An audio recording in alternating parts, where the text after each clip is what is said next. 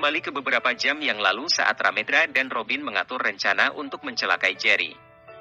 Simon yang terus berkeliaran di luar bersama puluhan anak buahnya juga dibantu oleh Evander telah mengetahui melalui mata-mata bahwa Jerry telah pergi sendirian meninggalkan villa. Ramdra yang mendapat kabar itu langsung memerintahkan kepada anak buah Evander untuk bersiap-siap memanfaatkan sekecil apa pun peluang untuk mencelakai Jerry. Ramendra juga memberitahu kepada Robin bahwa kini target mereka sedang sendirian dan langsung mengajak Robin berangkat dari Megatown. Setelah agak lama menunggu kabar, akhirnya Ramendra mendapat panggilan telepon dari Evander bahwa Jerry sedang sendiri berada di bahu jalan tepat di jembatan Metro City Megatown. Ramendra yang memang telah bersiap sedia langsung memacu mobilnya dan ketika dia dan Robin tiba di jembatan, pengeroyokan sedang berlangsung dan posisi Jerry saat itu benar-benar sudah terjepit di mana Ivan telah terlebih dahulu tumbang terkena hantaman bat stick tepat di bagian belakang kepalanya. Jerry yang saat itu menerima pukulan membabi buta dari pengeroyok berusaha sekuat tenaga menjaga kesadarannya. Tapi ketika kepalanya menerima pukulan, suasana berubah menjadi gelap, gelap dan dia merasa seperti berada di awang-awang melayang dan tidak mengetahui tempat apakah itu. Sayup-sayup Jerry mendengar seruan yang berkata, buang mayatnya ke bawah jembatan. Setelah itu tidak ada terdengar apa-apa lagi. Jerry. Kemari Jerry. Aku di sini. Kemarilah. Via, apa yang kau lakukan di tempat ini? Aku menunggu MU Jerry. Benarkah itu Via? Balaskan dendamku Jerry. Kau tidak boleh mati. Via, jangan pergi. Tunggu aku Via. Biur. Terdengar suara cipratan air ketika anak buah Ramendra membuang tubuh Jerry yang sudah berlumuran darah itu ke bawah jembatan. Kalian semua, ayo tinggalkan tempat ini. Bawa truk ini ke jalan sepi dan bakar untuk menghilangkan jejak. Kata Ramendra sambil memasuki mobilnya diikuti oleh Robin. Bagaimana dengan anak karam MU itu, Robin? Tanya Ramendra. Biarkan saja dia. Dia tidak sempat melihat wajah kita. Aku tidak membutuhkan anak haram itu. Kata Robin. Ayo Simon. Kita kembali ke Magatown. Kata Ramendra. Tak lama setelah itu mobil Mercedes itu segera memutar haluan dan kembali ke arah dari mana tadi dia datang.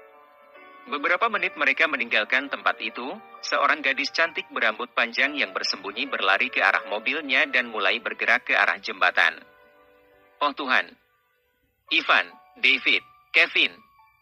Apa yang terjadi dengan kalian? Jangan-jangan yang mereka buang ke bawah jembatan tadi adalah tubuh Jerry. Kata gadis itu berbicara sendiri. Mengapa mereka lama sekali tiba? Padahal aku telah menelepon mereka lima menit yang lalu. Kata gadis itu dalam hati.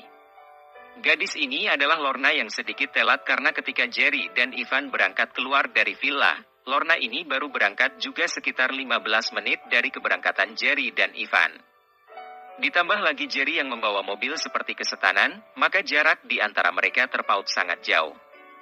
Lorna baru berhenti ketika dia melihat mobil yang dibawa oleh Ivan. David dan Kevin sedang berhenti di dekat jembatan dan dia melihat perkelahian di sana. Sifat alami Lorna keluar secara refleks dan langsung bos sembunyi sambil menelepon kakeknya mengatakan bahwa Jerry, Ivan, David dan Kevin sedang berkelahi menghadapi pengeroyok di jembatan Metro City Megatown.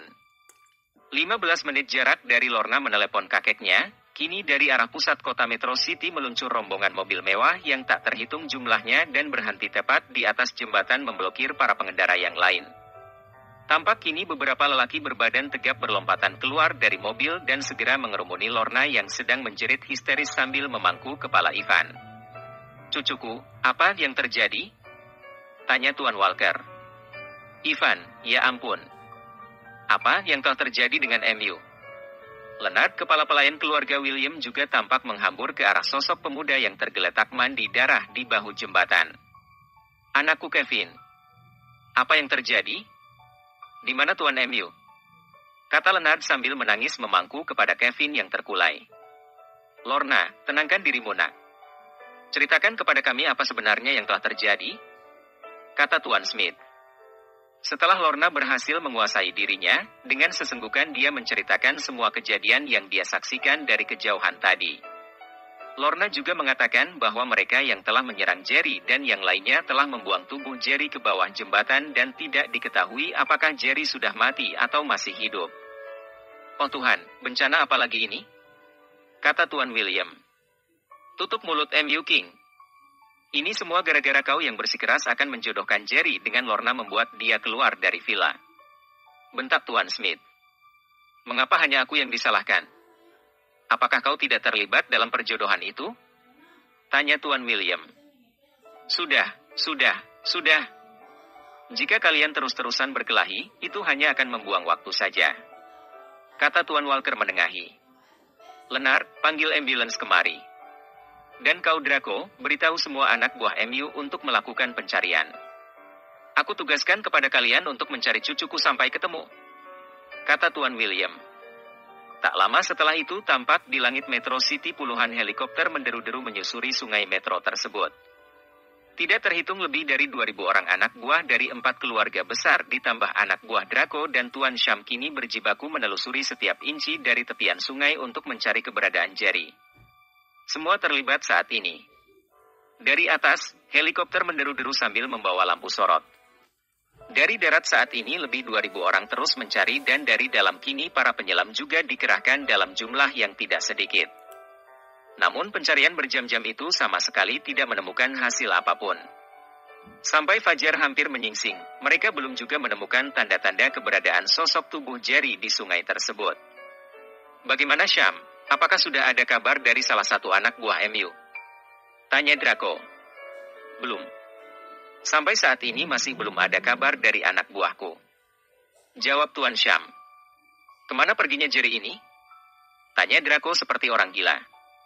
Kadang dia menangis, kadang dia tertawa membuat Tuan Syam hanya bisa menepuk pundaknya untuk sekedar menenangkan Draco yang kelihatan sangat terpukul dengan musibah yang terjadi itu. Sudah ku peringatkan bahwa dia harus hati-hati. Ini karena dia belum mengetahui kekuatan lawan. Belum kering bibirku memperingatkan agar dia waspada. Kini apa yang aku khawatirkan malah terjadi tidak selang beberapa jam. Kata Draco sambil terduduk di semak pinggiran sungai di mana diperkirakan tempat tubuh Jerry bisa ditemukan.